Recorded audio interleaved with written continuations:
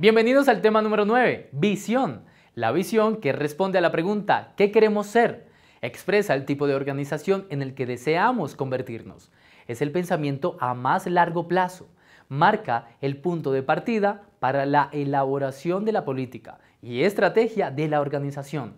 Debe ser alcanzable y para que sea válida debe basarse en tres elementos que proporcione valor y que las personas perciban como real una sensación de propósito noble, de algo que impulse a las personas a comprometerse con ello, una posibilidad verosímil de éxito, que se perciba posible y alcanzable, de modo que las personas luchen por alcanzar su logro.